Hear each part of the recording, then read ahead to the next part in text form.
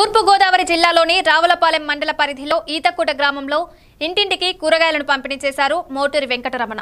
తన సొంత ఖర్చుతో ప్రజలకు కూరగాయలను సమకూర్చారు. రావులపాలెం ఎస్పీ బుజ్జిబాబు పంపిణీ కార్యక్రమాన్ని ప్రారంభించి నిరుపేదలకు కూరగాయలను అందజేశారు. ఈ కార్యక్రమంలో కాళీకృష్ణ రాజ్ కుమార్ బుజ్జి రాము లక్ష్మణరావు కృష్ణబాబు తదితరులు పాల్గొన్నారు.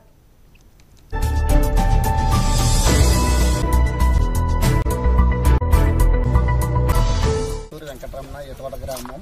ఈతకొడ గ్రామంలో కరోనా వైరస్ వలన లాక్డౌన్ వలన ప్రజలు చాలా ఇబ్బందులు పడుతున్న కారణంగా నేను ఒక మంచి పని చేయాలనే ఉద్దేశంతో మూడు టన్నులు కూరగాయలు తీసుకొచ్చి ఇంటింటికి నాలుగు రకాలు నాలుగు కలిపి నాలుగు అరకేజీ ఒక ప్యాకింగ్ చేసి గడప గడప గడపకు దగ్గర నుండి అందించేలా నేను కృషి చేస్తున్నాను ఈతకొడ గ్రామం.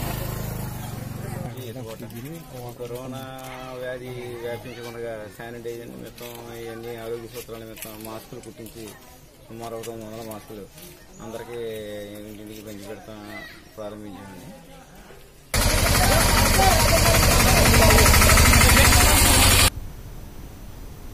తూర్పుగోదావరి జిల్లా శ్రీ